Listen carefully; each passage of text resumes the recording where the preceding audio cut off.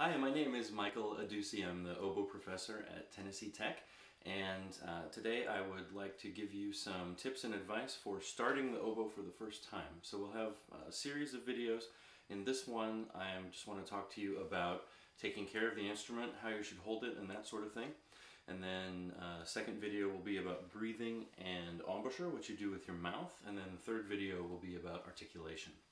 Uh, I have my email address here on the board behind me, and uh, from time to time I'll put links and references in the space above my head here. And uh, the most important thing is please feel free to contact me at any time if I can help you with the oboe. So let's get started.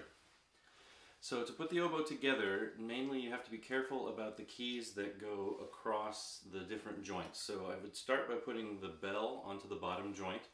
And if you notice, there's this little bridge key and you want to make sure that you don't jam the two bridge keys together. So put, put the instrument together where the bridge keys are not touching. So I actually put the bell on upside down with the key on the back. Now if you have a uh, beginner model oboe, you probably don't have as much going on down here, but you still need to be careful.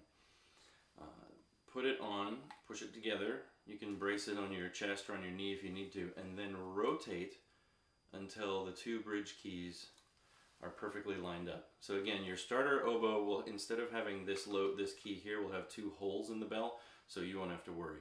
Uh, except that you'll want the holes to be on the sides, because those are for low B flat. You actually close those holes with your knee.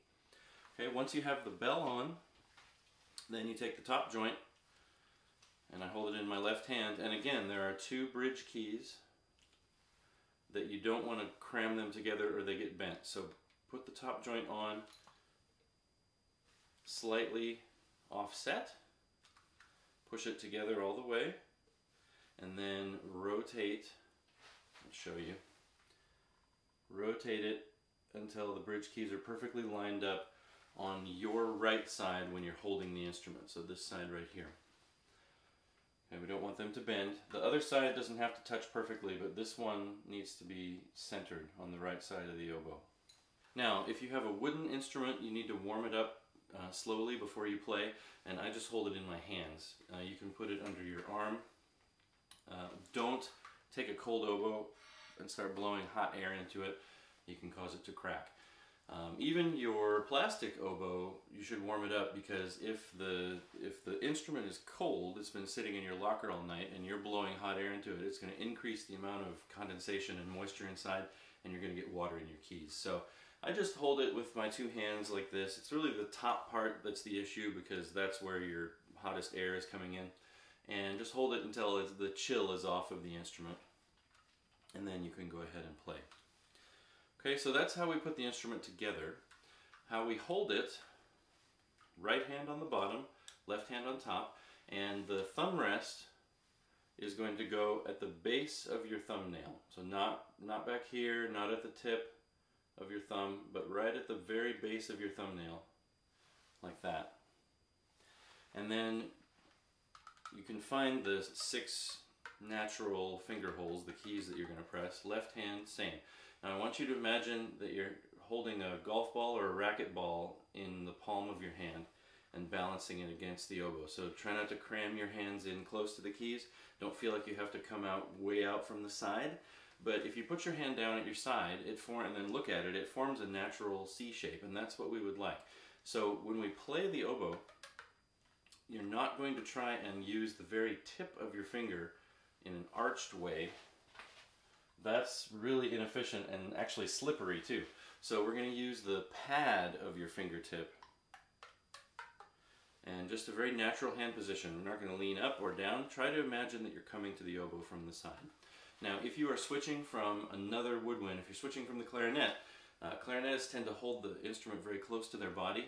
On the oboe we're going to hold it out at like a 40 degree angle or something like that. So I'll turn to the side. We don't point with the oboe.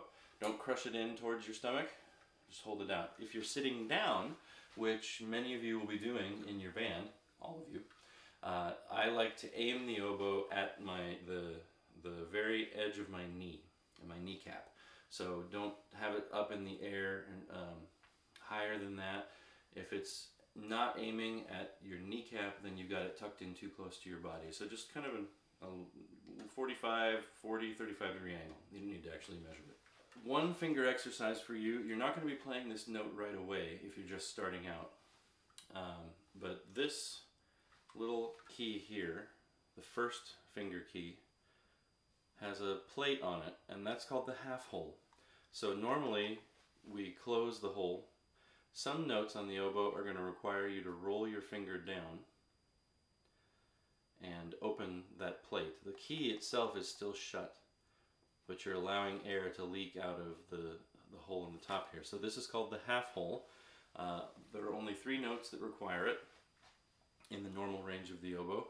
C sharp in the middle of the treble clef staff, D in the middle of the staff, and E flat in the middle of the staff. So you should start right now practicing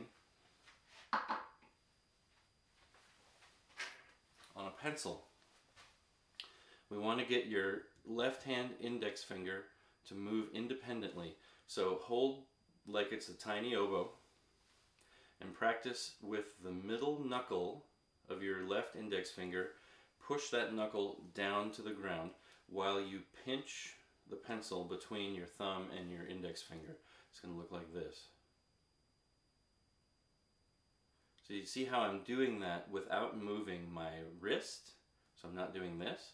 And I'm doing it without moving the other fingers of my hand. You know, practice this until you can do it independently. And then, once you're feeling comfortable with the pencil, you want to do it on the oboe.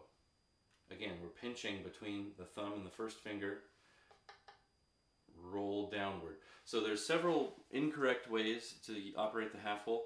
The correct thing to do is to have your finger live on the top of the key and vent it downward and then relax it back up. You don't use it most of the time, so don't let your finger stay down here and then you're always having to work to close it.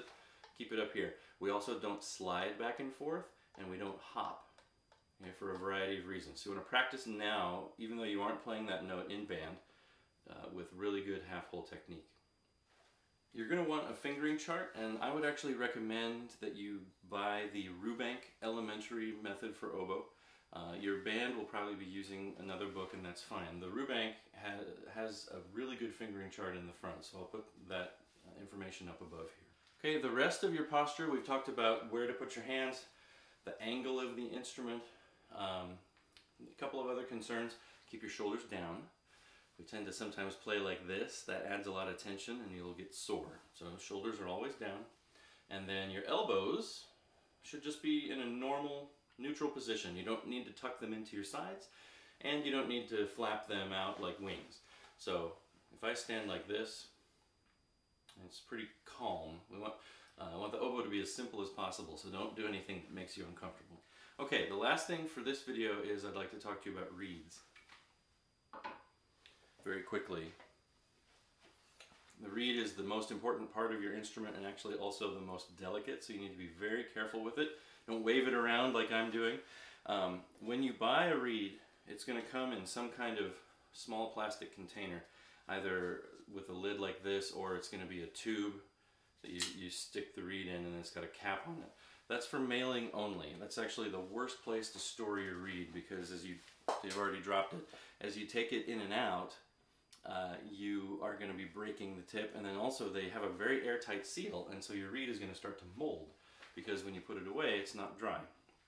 And so the first thing you're going to want to do is get yourself a reed case and these can be very expensive, they don't have to be. It needs to hold the oboe, the reed securely. Here's an example of a small one. This is not, not my favorite because there's no ventilation. This one has little pegs but they're spring loaded and, and if you're going to have those are called mandrels. If you're going to have a mandrel style reed case, you need to be careful that they don't just flop because if you can put your reed in here and shake it and you hear it rattling back and forth, that's going to be breaking the tip of your reed. So your reed, when you're not using it, needs to be in a case, not in the shipping container that it came in. You probably want to start with a small one so that you can leave it inside your oboe and you don't accidentally forget it. Most, most beginner oboes don't have a zipper pocket or anything, you just have to put it inside. Okay, the reed, in order to play it, you're going to need to soak it in water, not in your mouth. So if you're switching from clarinet or saxophone to oboe, you're used to putting the reed in your mouth. Um, now, this is a double reed and it's hollow. There's inside space. When you're soaking it in your mouth, you're only wetting the outside. And also, the body temperature is very warm and it's going to cause the reed to expand and that makes it hard. Okay, so what you need is a small film canister or a pill bottle that you wash out really well. Uh, this one is magnetic, it's designed to clip onto my stand. And you're going to fill it with water. You want room temperature water, not super cold, not super hot. Both of those things make the reed harder to play on. And um, you want to have enough water in there that it covers half of the thread. So your reed has a cork part on the bottom. That's what goes into the oboe. A cane part on top. That's what vibrates. And then string in the middle that's holding the cane onto the, the cork part. And there's actually metal on the inside there. This is that bottom part's called the staple. Um, so have enough water in your film canister to go about halfway up the thread. It doesn't actually matter. You could fill it up to here. It doesn't hurt the cork. It just makes it slippery.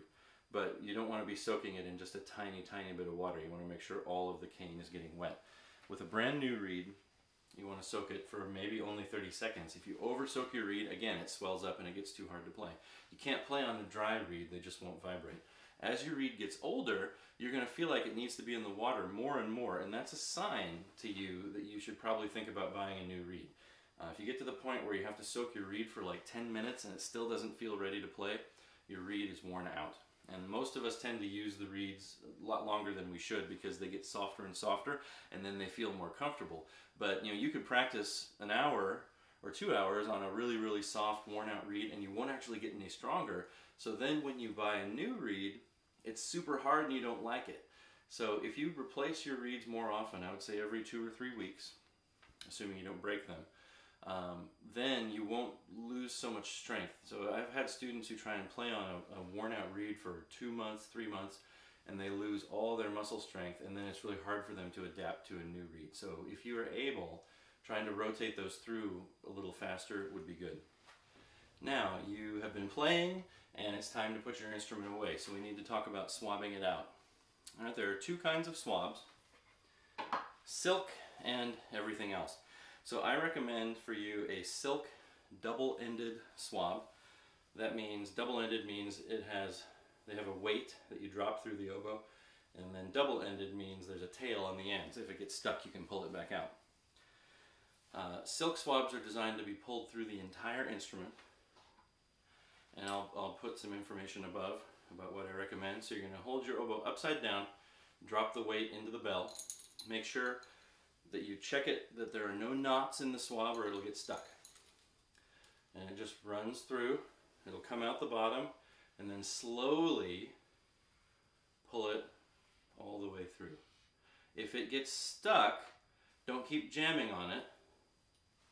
You can take your oboe apart, and there's the tail and you can pull it back if, if that becomes necessary.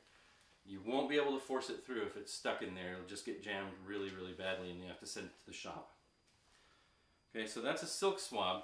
If you have a cotton swab, and you can tell the difference, cotton is going to be much, much thicker. Those are designed to go through one joint at a time, so you have to take your instrument apart. Okay, to take your instrument apart, reverse what you did before. We're going to take the top joint off the bottom joint and I didn't mention this earlier, but I don't want to hold where all the keys are. I'm going to hold up at the top and at the bottom and twist and pull. If that's not easy to do, you can put a little, a little cork grease on the tenon, but don't overdo that. Okay, so you take it apart, and then again, if, if you had a, a cotton swab, you would swab the bottom joint, and it'll probably go all the way through the bottom joint.